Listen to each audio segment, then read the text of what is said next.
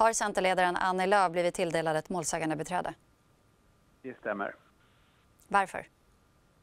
Eh, därför att hon är se, att se som målsägande eller brottsoffer i förhållande till misstanken om förberedelse till terroristbrott genom förberedelse till mord. Var hon Theodor Engströms tänkta offer? Eh, hon är, är, att se som brottsoffer i förhållande till, till den här brottsmisstanken som han är misstänkt för. Eh. Mer kan du säga om det som skett och vad som nu kommer att hända?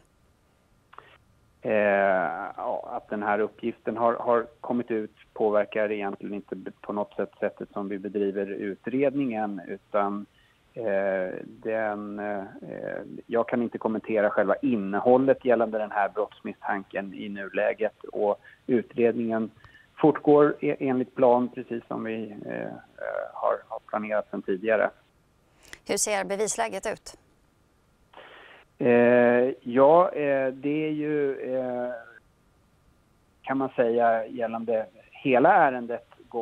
Sen är det en hel del, inte helt enkla rättsliga frågor gällande just det här. Är det här att se som terroristbrott och förberedelse till terroristbrott eller inte?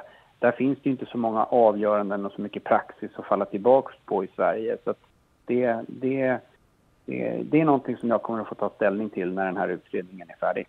Hur vanligt är det att politiker eh, dras in så här? Ja, i förhållande till den här brottsmisstanken, eftersom den här typen av brottsmisstankar är väldigt ovanliga i sig, så är det klart att det är ovanligt att en politiker får ett målsägande beträde för att de utsätts för ett brott. Eh, det är ju inte helt ovanligt, till exempel genom hot om våld på nätet och så. Men i den här kontexten är det naturligtvis eh, ovanligt.